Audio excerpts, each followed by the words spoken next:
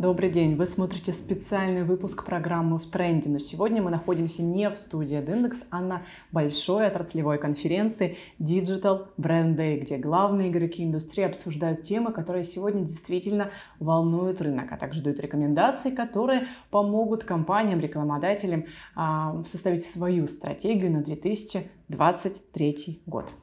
А у нас в гостях спикер секции «Эффективный перформанс в Рунете» Александр Климаков, руководитель группы мобильной рекламы Тиньков. Александр, здравствуйте. Привет.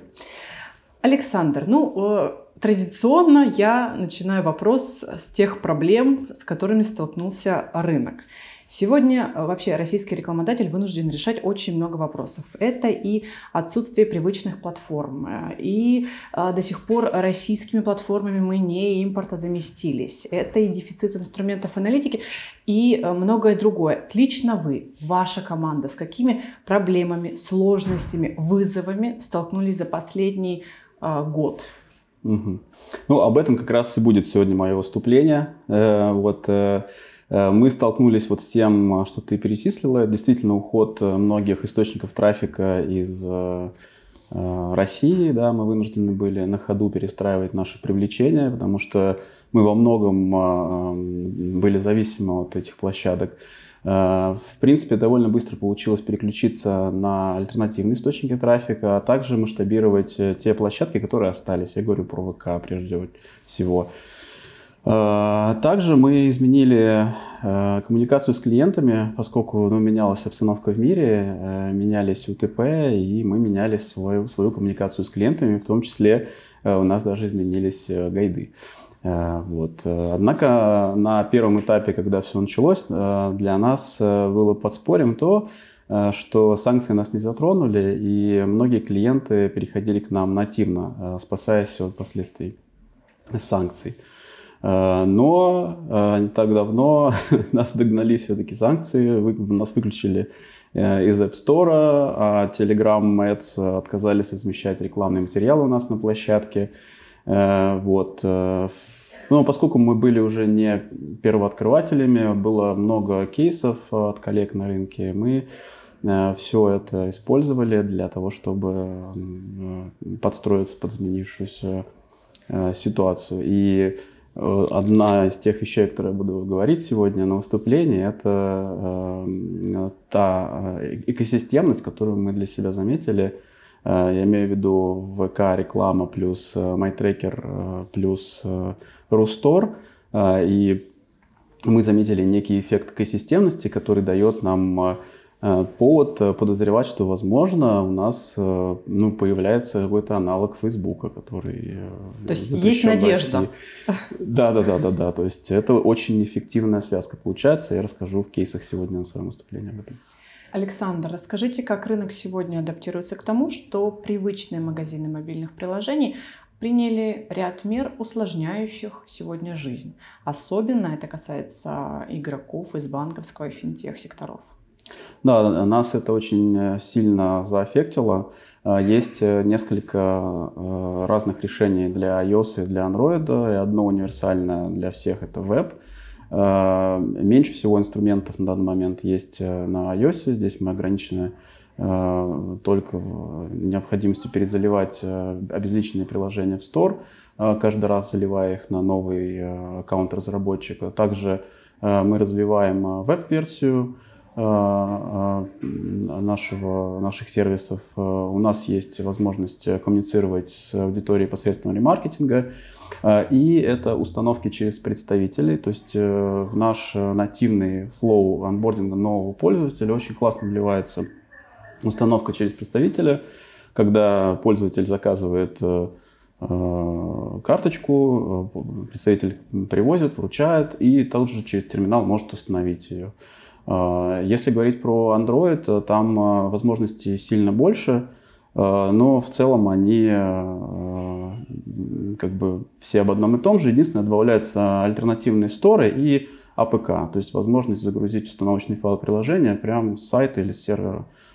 Вот. То есть я правильно понимаю, что у российского рынка, скажем так, позитивные перспективы развития собственных отечественных магазинов приложений. Да, именно об этом и будет сегодня а, мое выступление. Мы нашли классную связку а, именно с продуктами ВК плюс Рустор. И Рустор очень классно развивается, особенно учитывая тот факт, что а, с января этого года Рустор в реестре обязательных для предустановки на устройство Android в России. Вот. У нас большие ожидания от этого стора. Вот на рынок выходит новое мобильное приложение. Как сделать его популярным? С чего компаниям нужно начать?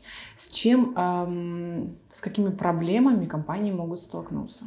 Ну, во-первых, э, нужно убедиться в том, что э, ваше приложение э, решает э, ту боль клиента э, лучше, чем э, известные ему альтернативы. Да? То есть это УТП, Э, второе, э, нужно развивать знания э, людей о вашем продукте, то есть вкладываться в медийное размещение, брендформанс. Сколько сегодня стоит запуск мобильного приложения? Есть конструкторы мобильных приложений, которые позволяют там запустить прилку в рамках агентской комиссии, там, не знаю, пару тысяч рублей в месяц. Не агентской комиссии, а, прошу прощения, это месячные подписки. А есть э, там э, серьезные игры, которые там начинаются от 100 тысяч долларов и выше. Все зависит от вашей вертикали, от ваших э, целей. Угу. А как вообще вы оцениваете а, рынок мобильных приложений сегодня в России? На каком он уровне, например, относительно глобального? Ну, к сожалению, нужно констатировать, что рынок мобильных приложений в России становится локальным. Э, и у нас наблюдается тенденция с э, э, как бы стирание границы между вебом и апом. Вот из-за из из того, что у нас нет возможности устанавливать iOS через Store, мы будем вынуждены прибегать к веб-историям. С Android, вероятно, тоже будут какие-то веб-истории подключаться. Поэтому Э, если отвечать на ваш вопрос э, формально, да, то это э, локализация рынка России и конвергенция АПА и веба. Александр, какую роль сегодня играет искусственный интеллект и ML в таргетированной рекламе?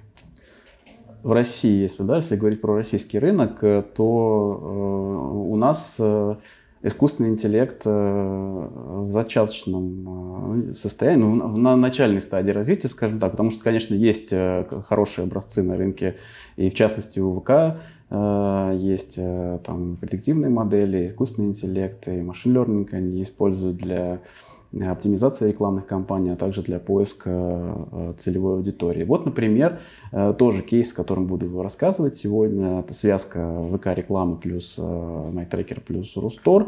Такая замкнутая экосистема, которая обладает максимальной полнотой знания о клиенте, пользователе, и за счет этого может там, максимально релевантно поставлять ему коммуникацию рекламную каком, в каких направлениях будет развиваться а, участие искусственного интеллекта в таргетированной рекламе?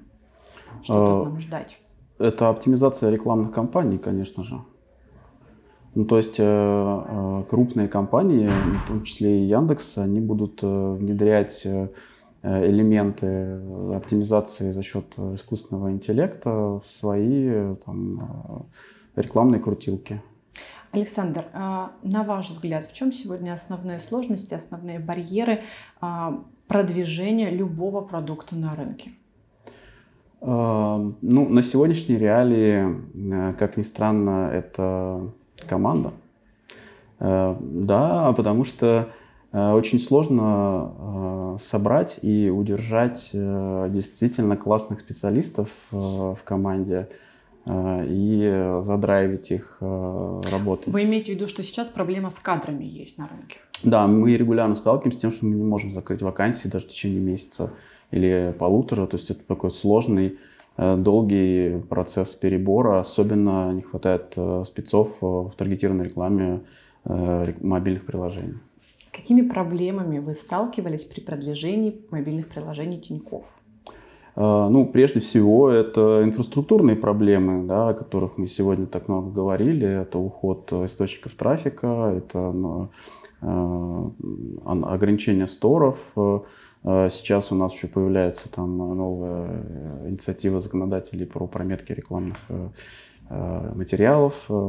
Ну, то есть такое ощущение, что каждый там, месяц появляется что-то новое, новое, новое. Недавно мы сталкивались с какими-то капитальными проблемами в аукционе на ВК-рекламе.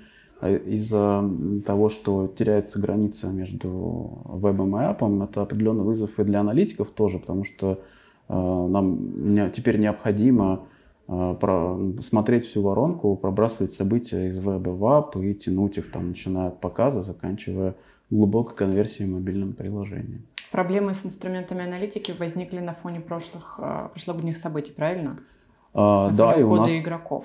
Да, совершенно верно. И у нас есть там, яркий пример от э, э, банков, э, коллег по опасному бизнесу, что там очень короткие сроки трекер может покинуть. Вот, поэтому мы решили переключиться на другое. То есть искали альтернативные решения, выбирали между AppMetric и MyTracker. На самом деле еще у нас был Just, конечно. Но в конечном счете мы выбрали MyTracker. Э, там, в силу разных причин. Основное это возможность э, трекать пост-вью, для нас это стало критичным. Э, наличие антифрод решений, ну это пресловутая экосистемность, поскольку значительная доля трафика у нас приходится на продукты ВК, и трекер ВК очень, кстати, здесь приходится. Александр, спасибо вам большое. Спасибо вам. Александр Климаков, руководитель группы мобильной рекламы Тиньков, был у нас в студии.